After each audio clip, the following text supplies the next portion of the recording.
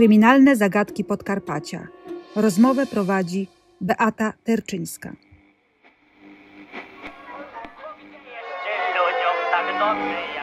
Dziś w cyklu Kryminalne zagadki Podkarpacia rozmawiamy o jednym z najgłośniejszych procesów Polski międzywojennej.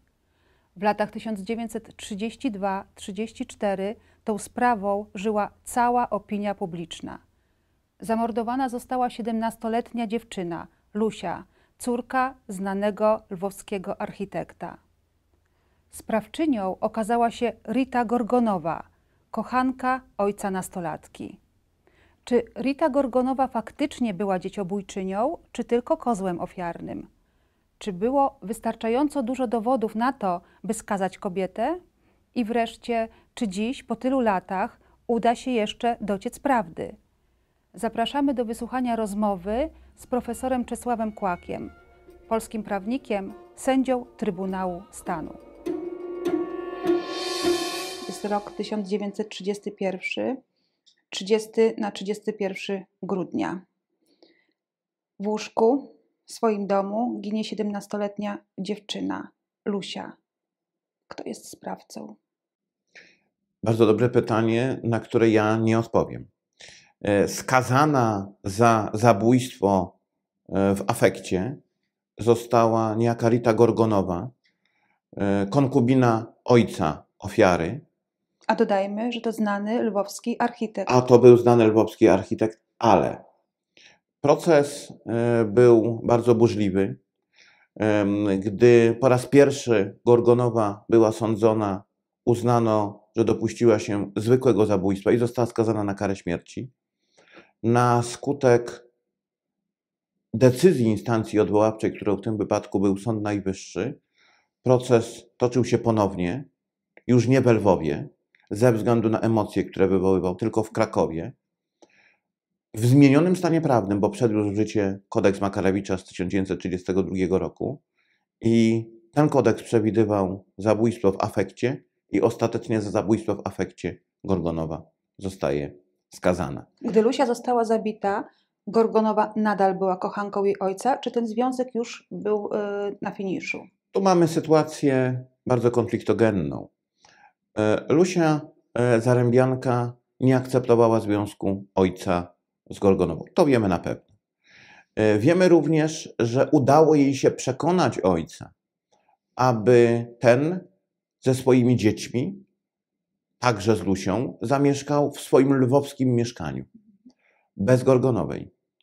Lusia doprowadziła zatem do sytuacji, w której ojciec stanął w obliczu wyboru konkubina czy dzieci i wybrał jednak dzieci. Mówię jednak, ponieważ to wywoływało ze strony Gorgonowej złość, czego zresztą sama nie ukrywała. W swoich wyjaśnieniach wskazała, że mm, nie aprobowała zachowania Lusi, która starała się doprowadzić do rozpadu jej związku z Henrykiem Zarębą, ojcem Lusi. Henryk Zaręba miał już wtedy nową partnerkę, nową kobietę. E, Nie sądzę. Materiały na to nie wskazują. Henryk Zaręba jawi się jako człowiek zagubiony, e, który chce kontynuować związek z Gorgonową, ale jednocześnie nie chce sprawiać przykrości dorastającej, ambitnej, wrażliwej córce.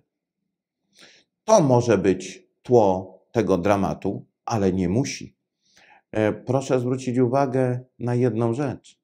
Em, W zasadzie już w pierwszych godzinach śledztwa pojawia się wersja, następnie jedyna tak naprawdę brana pod uwagę, że zabójstwa dopuściła się osoba najbliższa, pozostająca w konflikcie z ofiarą. Czyli ktoś z domu, a nie z zewnątrz. Ktoś z domu. Podejrzenia padają od razu na Gorgonową, choć początkowo także śledczy przyjmują e, udział Zaręby w zabójstwie córki, nawet zostaje on zatrzymany. E, Miał dopuścić się zbrodni zabójstwa z Gorgonową, działając wspólnie i w porozumieniu, ale ostatecznie Henryk Zaręba nie zostaje oskarżony. Ostatecznie przyjęte zostaje, że sprawcą zabójstwa była Gorgonowa. Taki też akt oskarżenia wpływa do sądu. Dodajmy jeszcze, jak zginęła dziewczyna i kto odnalazł ciało. To jest bardzo ciekawe, ponieważ e, ofiara została znaleziona w swoim łóżku z roztrzaskaną głową e, w kałuży krwi, a ciało znalazł jej brat Staś, którego miał zbudzić z kobyt psa i przemieszczając się ze swojego pokoju do pokoju zajmowanego przez e, Elżbietę Zarębiankę zwaną Lusią, miał widzieć jakąś postać, która w salonie miała chować się za choinką. Przeszedł jednak nad tym dalej, doszedł do pokoju e, siostry i tam znalazł ją w takim stanie, który wskazywał na to, że e, została zaatakowana. Zaalarmował cały dom. W pokoju pojawił się e, Henryk Zaręba, pojawiła się też Gorgonowa. E, I tyle wydaje się, że wiemy w sposób pewny, bo w tym zakresie materiał dowodowy nie pozostaje ze sobą sprzeczności. Natomiast podstawowe pytanie, kogo widział Staś Zaręba za choinką, e, nie zostało w toku śledztwa ani w toku postępowania sądowego wyjaśnione. Bo jak dokładnie przeanalizujemy jego zeznanie, to w tych pierwszych godzinach śledztwa on nie był pewien, że widział Gorgonową. Dopiero po kilku godzinach śledztwa, przy którymś przesłuchaniu, na pytanie, które mogło sugerować treść odpowiedzi, funkcjonariusz policji zadał pytanie, czy to była pani Gorgonowa, odpowiedział tak. Wcześniej ten funkcjonariusz e, zdaje się, że nawet sugerował, że kto to mógł być inny. I wówczas rozpoczęła się wieloletnia gehenna tej kobiety, co mogło przemawiać na jej niekorzyść. Czy znaleziono jakieś ślady, jakieś dowody? Pamiętajmy, to są lata 30. E, Kryminalistyka wygląda zupełnie inaczej niż dzisiaj. E, Znaleziono em, dżagan służący do rozbijania lodu. Dziś powiedzielibyśmy kilof, a w zasadzie głowę tego dżaganu bez drzewca w basenie na tyłu posesji zajmowanej przez Henryka Zarębę, ale nikt nie badał śladów znajdujących się na tym dżaganie. E, Technika nie była tak rozwinięta. E, Ba, biegły opiniujący w sprawie e, wskazał, że ten dżagan mógł być narzędziem zbrodni, ale też identyfikacja w zakresie e, mechanoskopijnym em, nie była tak dalece rozwinięta jak dzisiaj i jednoznacznej odpowiedzi, że to ten konkretny dżagan nie mamy. Mamy ślady stóp jeszcze na śniegu, tak? Tak, ale traseologia, e, dziedzina kryminalistyki zajmująca się badaniem śladów stóp. My nie wiemy, czyje to były ślady. Em, Kobiece. Ale właśnie, e, dlaczego kobiece? Bo e, wskazano ze względu na rozmiar. Ale przecież są mężczyźni, którzy mają rozmiar 41, 42, 39, 40 nawet. Mhm. Najciekawsze jest to, że nie zabezpieczono tego śladu i my na dobrą sprawę nie wiemy, jaki to był rozmiar.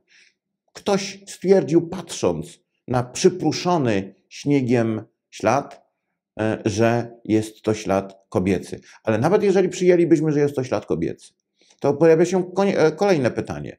Kobiecy, ale kogo? Czy samego faktu, że wokół domu, w którym mieszkały przecież kobiety, Lusia Zarębianka, Rita Gorgonowa, gdzie przychodziły też inne kobiety, czy ten ślad nie mógł być naniesiony przez przypadek?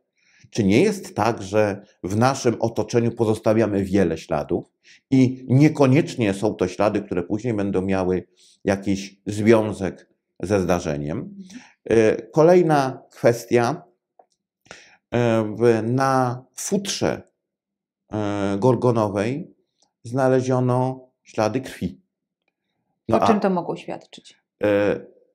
Powiem tak, mogło to świadczyć o tym, że e, krew została naniesiona w toku ataku ze strony Gorgonowej, ale równie dobrze mogły być naniesione w czasie, w którym Gorgonowa, będąc w pokoju, gdy Lusia Zarębianka już nie żyła, e, poruszała się po tym pokoju. Tam przecież był i Henryk Zaręba, był Staś Zaręba.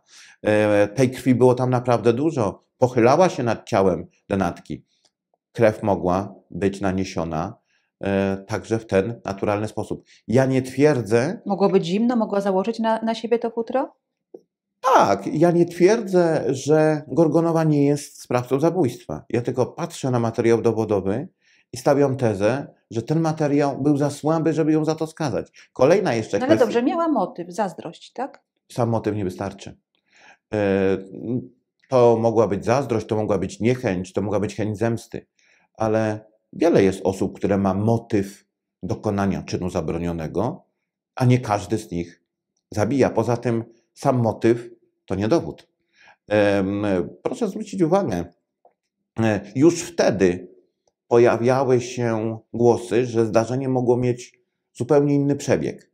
Pojawił, pojawiła się na przykład wersja, że zabójstwa mógł dopuścić się zakochany w Lusi e, mężczyzna, odwiedzający dom Zarębów, który odrzucony mógł tak, a nie inaczej zareagować. Nie wiem, czy jest to prawda. A czy prawdą jest, że ktoś próbował upozorować gwałt na dziewczynie? To ciekawa, to ciekawa historia. Rzeczywiście lekarz, dr Ludwik Cala, który pojawił się jako pierwszy medyk, stwierdził, że w okolicach miejsc intymnych kobiecych narządów płciowych e, e, ślady wskazują na penetrację. Wtedy jeszcze nie wiedział, e, czy doszło na przykład do zgwałcenia, czy też nie. Natomiast finalnie ustalono, że była to próba upozorowania czynności seksualnej, do której w rzeczywistości nie doszło. To z kolei miało świadczyć przeciwko Gorgonowej, e, albowiem odpadł motyw seksualny. Jeżeli nie seksualny, jeżeli nie rabunkowy, no to emocjonalny. Tak wtedy rozumowano. Tylko jeszcze raz powtarzam, każdy motyw musi być udowodniony, a okoliczności zdarzenia nie mogą budzić wątpliwości. Proszę zwrócić uwagę, Staś Zaręba. E, Jego zeznania e, nie do końca są wiarygodne. Na pytanie, co spowodowało, że w nocy nie spał, że wstał i przemieszczał się w stronę pomieszczenia zajmowanego przez siostrę, e, wskazał, że długo słuchał audycji Radia Lwów. W tym samym czasie również Henryk Zaręba miał słuchać e, audycji Radia Lwów, ale Staś Zaręba mylił to, co miał słyszeć. Sprawdzono. E, Tego programu, który on miał podać, że słuchał, nie było. Ile Staś miał wtedy lat? Staś był e, nastolatkiem. Em, W związku z tym tu mógł mylić e, określone fakty. Ja nie twierdzę, że miał jakikolwiek związek e, z tym zdarzeniem. Niemniej jednak niekonsekwentne zeznania świadka nie mogą prowadzić do skazania oskarżonego. Wtedy także nie mogły prowadzić do skazania oskarżonego. Rita Gorgonowa nigdy nie przyznała się do tego, że zabiła. Więc dzieciobójczyni czy kozioł ofiarny? Rita Gorgonowa konsekwentnie zaprzeczała swojemu sprawstwu. Czy e, zabiła? Logika wskazuje na to, że miała sposobność, motyw, była zdeterminowana, ale to za mało, żeby skazać. Materiał dowodowy jest ubogi. Zapewne dzisiaj, gdyby do takiej zbrodni doszło, w oparciu o ten materiał, który mamy, bylibyśmy w stanie dojść prawdy, bo mamy takie możliwości identyfikacyjne, które pozwoliłyby te wątpliwości rozwiać. A tam nawet w tamtych czasach zabezpieczona krew nie może być uznana za dowód w sprawie, bo jeszcze badania krwi były początkujące, raczkowały, więc to nie była ta dziedzina identyfikacji, która dawała pewne rezultaty. Zresztą po latach jeden z wybitnych profesorów medycyny podważał sposób przeprowadzenia tamtych badań na oznaczenie e, krwi. Chciałem zwrócić uwagę na jeden ciekawy wątek, co także miało przemawiać przeciwko Gorgonowej. Mianowicie znaleziono ślady kału na jej koszuli nocnej. E, To zdaniem biegłego, które został przesłuchany, miało wskazywać na to, że nie wytrzymała napięcia związanego z tym, czego się dopuściła. I doszło do wydalenia kału niekontrolowanego przez organizm. Wtedy uznawano, zgodnie z wiedzą tam, w tamtych czasach kryminalistyczną, że jest to okoliczność wskazująca, że sprawca nie był w stanie poradzić sobie z tym bagażem, balastem psychologicznym zdarzenia, którego się dopuścił. No ale przecież na koszuli nocnej ślady kału mogły pojawić się zupełnie w sposób naturalny. Może niewłaściwie przeprowadziła higienę nocną, może w pośpiechu. E, Dzisiaj to e, e, budzi nas nawet trochę, bym powiedział, śmiech, bo brzmi jak e, jakiś taki kiepski żart, że na podstawie brudu em, na e, koszuli nocnej związanego z jakimiś brakami czy nie do końca prawidłowo przeprowadzoną higieną można by aż tak daleko idące wnioski wyprowadzać. Ale wtedy uznawano, że jest to jedna z istotnych okoliczności. Rita Gorgonowa była wieziona do Krakowa przez Rzeszów na proces. Tą sprawą y, chyba żyli wszyscy, prawda? To była jedna chyba z największych, najbardziej spektakularnych y, spraw y, ówczesnego wymiaru sprawiedliwości. Czy to też nie było tak, że zanim zapadł wyrok, to już lud ją skazał? Na pewno, gdy proces toczył się w Lwowie, bo pierwszy proces toczył się w Lwowie, Rita Gorgonowa, zanim weszła na salę sądową, była skazana. Społeczeństwo wierzyło w to, że to ona jest sprawcą. Do tego była obcokrajowcem. To zawsze budziło w tamtych czasach w Galicji pewnego rodzaju niechęć. Em, Wokół niej była pewnego rodzaju aura tajemniczości, która jeszcze bardziej potęgowała strach mieszkańców i przekonanie, że ona jest sprawcą. Mm, W drugim procesie e, również prasa jej raczej nie oszczędzała, e, krakowska prasa. Mm, Sąd ostatecznie ją skazuje. E, Niemniej jednak e, do dzisiaj pozostają wątpliwości. My ich nie rozwiejemy. Wyrok jaki jest? 8 lat? E, Finalnie sąd skazuje na karę 8 lat pozbawienia wolności, przy czym e, Rita Gorgonowa nie odbywa całej kary. 1 września 1939 roku wybucha II wojna światowa. 2 września prezydent RP ogłasza amnestię. I Gorgonowa wychodzi na wolność. Co się z nią stało? Nie wiemy. To prawda, że jej krewni, córka, wnuczka chcą wznowienia procesu i czy to w ogóle jest możliwe? E, Parę lat temu pojawiły się takie informacje, że wnuczka Rity Gorgonowej dąży do oczyszczenia e, z zarzutów e, swojej babci. Czy jest to możliwe? Formalnie kodeks postępowania karnego obowiązujący obecnie, bo należałoby zastosować dzisiejsze przepisy, pozwala na wznowienie postępowania. Ale przede wszystkim musiałyby się ujawnić nowe fakty lub dowody. Nie wystarczy sama odmienna ocena znanego już materiału dowodowego. Takich nowych faktów lub dowodów nie ma i nie będzie. To były lata 30. Co moglibyśmy więcej jeszcze odkryć? Nawet gdybyśmy w, tym, w tych okolicach znaleźli kilof, e, i nawet gdyby jakiś biegły stwierdził, że to kilof z lat 30., to po tylu latach żaden biegły dzisiaj nie powiązałby tego z e, tamtą zbrodnią. Więc moim zdaniem materiału dowodowego my już nowego nie odnajdziemy, no chyba, że pojawią się na przykład, zostaną odnalezione gdzieś na jakimś strychu pamiętniki kogoś, może osób z najbliższego otoczenia Gorgonowej, Zaręby, którzy mogą mieć jakąś wiedzę, którą się nie podzielono. Może ktoś na łożu śmierci wyjawił jakiś sekret, który następnie został gdzieś utrwalony. Ale to raczej są domysły, że coś takiego istnieje, niż fakty. Na chwilę obecną nowych dowodów brak, podstawy do wznowienia zatem także brak. To nie koniec. Dr Arkadiusz Szajna, kierownik Laboratorium Badań Wariograficznych z Wyższej Szkoły Zarządzania Ochroną Pracy w Katowicach, wyjaśni pewne kryminalne zagadki. W tej sprawie warto poruszyć tematykę trasologii, czyli działu identyfikacji człowieka polegającego na badaniu stóp bosych, odzianych i obutych. Trasologia zajmuje się również badaniem śladów jazdy, hamowania, generalnie środków transportu, ale my skupmy się e, na tematyce właśnie stóp bosych, odzianych czy obutych.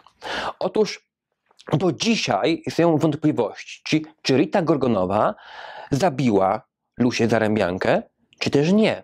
Jakby można było ewentualnie ustalić obecność osób trzecich w tym mieszkaniu? Otóż właśnie na podstawie śladów stóp. Y, Przy założeniu, na przykład, że Rita poruszała się boso, można tutaj wykorzystać właśnie dział trasologii bazujący na y, stopach bosych, czyli podoskopii. Na stopach człowieka są charakterystyczne, indywidualne układy listewek skórnych, umożliwiające identyfikację indywidualną. Czyli na podstawie chociażby ścieżki chodu y, Rity Gorgonowej można byłoby tak, przypuszczać, iż ona była w tym pokoju, można byłoby ustalić jej ścieżkę dojścia, wyjścia z miejsca tego zabójstwa. Można byłoby poszukiwać również innych śladów, czyli ewentualnie śladów osób trzecich, które mogły się dopuścić zabójstwa Lusi Zarębianki. Tylko w tamtym czasie y, kryminalistyka, w tym trasologia, nie były tak rozwinięte. Dzisiaj mamy nowoczesne, wspaniałe narzędzia, które nam przyspieszają proces identyfikacji. Chociażby mają na uwadze ślady pyłowe. Idąc na, nie wiem, na, na podłodze, tak, w obu, o- obuwiu, my tam nastawiamy ślady pyłowe moich stóp obutych. Możemy wykorzystać urządzenie do elektrostatycznego ujawniania tego typu śladów. Jest to nowoczesne, bardzo, bardzo fajne urządzenie, które wówczas zastosowane mogłoby nam zobrazować całą sytuację, mogłoby nas przybliżyć do tej prawdy.